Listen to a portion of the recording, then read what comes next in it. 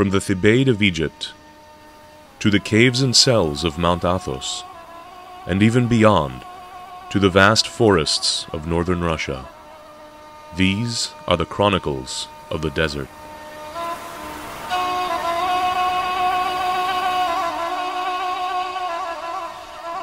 Among the early female monastics, we know that some lived proto monastic lives in villages along the edge of the desert, while others lived in more secure monastic communities.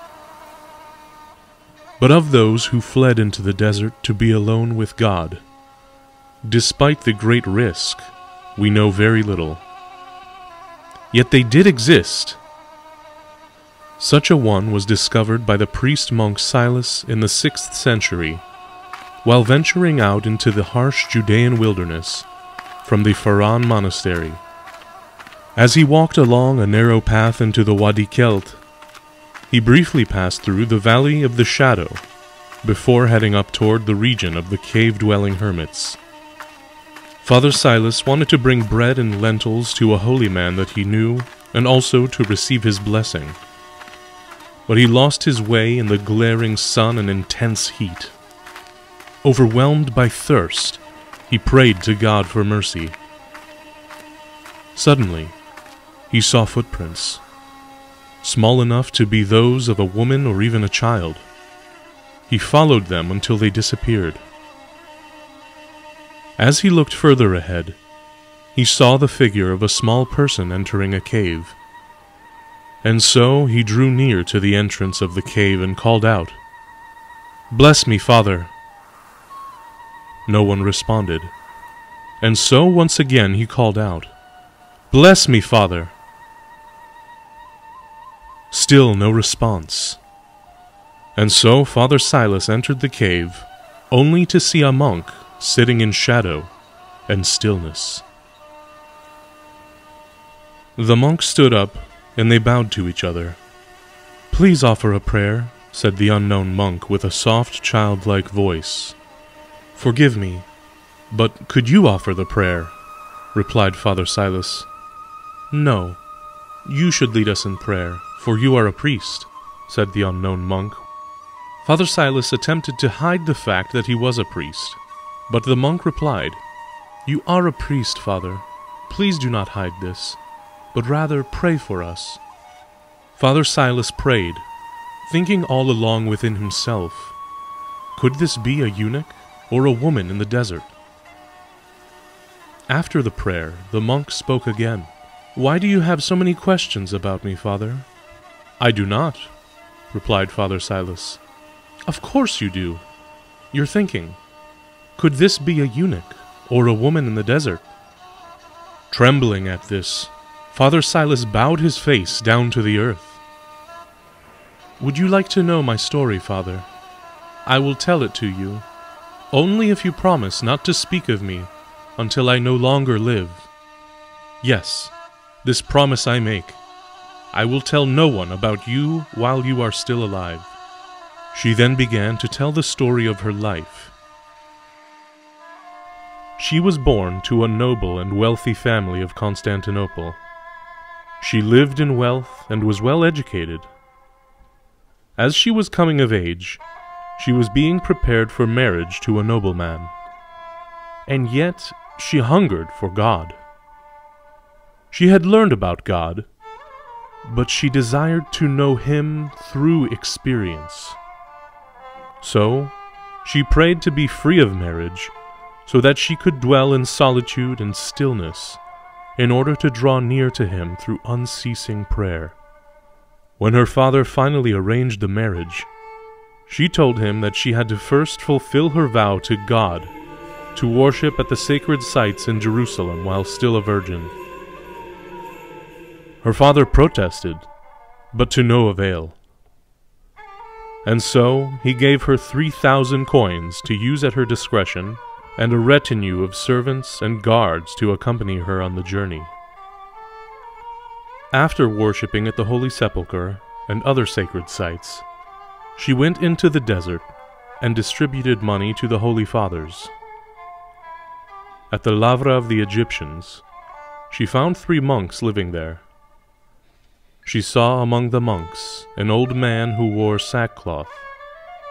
This monk can fulfill my wish, she thought, if only God wills it. So she returned to Jerusalem, and after some days she wrote a letter to her parents, saying, I offer myself to the God of all things. Search not for me, for I am leaving to go where God will lead.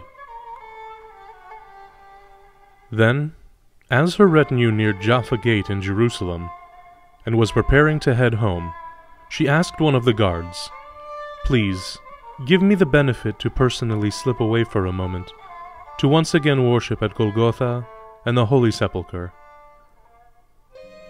Not without some hassle did she make her way free of the servants and guards. But once alone, she set forth straight away on the road to Jericho to find the monk wearing sackcloth. When he saw her, surprised, he said, What can this be about? I seek only God, and hope to be clothed with the holy habit, she replied. That is my only desire. Ah, but how do I know that you have not come as a temptation for the monks? Bowing down and weeping before him, and giving him all that remained of her coins, she replied, Holy Father, my only wish is that you honor me with the holy habit and the holy scriptures.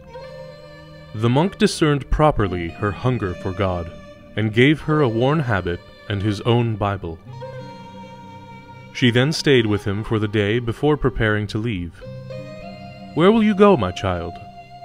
Abba, wherever your prayers will lead me. She cast all her cares upon the Lord, and gave herself over fully to the desert. She prayed to be hidden from sight, and through the Abba's prayers was led to the cave where she now lives. She had lived in this cave in complete asceticism and hesychia for 28 years, rarely catching sight of any human figure and speaking to no one until now. After hearing her story, Father Silas noticed that her face gave off flashes of light, sparks, and spiritual embers that burned much like her very own heart for God. Trembling, Father Silas bowed and offered her some bread, but she refused. If I share in the food with which you brought, he who has fed me for all these years will no longer do so. Father Silas glanced once again at the radiance of her face, her youth well preserved. But the beauty he was seeing went beyond human nature to a spiritual essence that transcends mere words. He thought for a moment about how his own burning thirst, with which he had arrived, had now ceased. Be of good cheer, father, she said, for you will not thirst again until you reach the door of your cell. Please do not leave this place, he begged, so that I may come and be blessed by you again. And so, Father Silas headed down again to the path and followed it back to his cell, noticing that just as she had promised, he did not thirst along the way, in spite of the scorching heat. Some time went by, and Father Silas once again retraced his steps to that cave, but having entered, found her no longer there. Once again she went hiding herself away in perfect stillness. He returned home, giving glory to God and thinking within himself, Blessed are they who hunger and thirst after righteousness for they shall be filled.